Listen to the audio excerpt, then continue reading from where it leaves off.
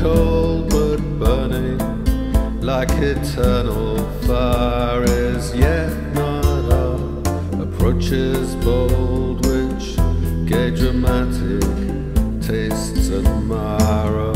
Timid love more fond than free.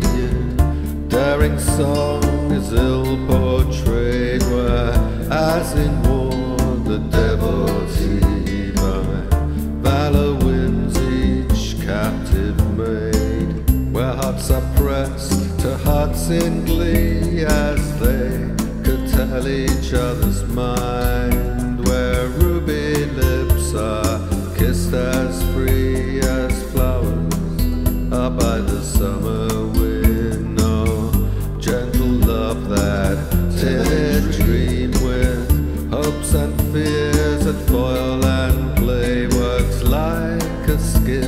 against the stream and thinking most finds least to say. It lives in blushes and in sighs, in hopes for which no words are found. Thoughts dare not speak, but in the eyes the tongue is left without a sound. The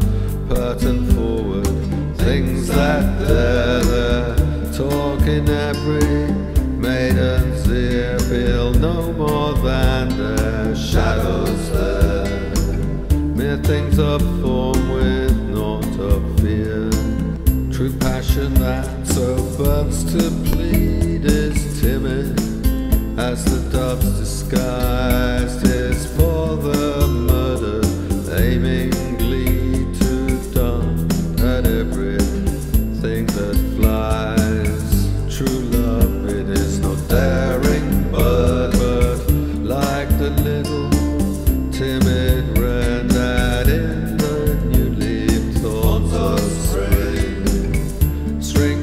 farther from the of man. The idol of his musing mind, the worship of his lonely eye, love woos her in the summer wind and tells her name to every flower. In her sight, no open word escapes his fondness to declare the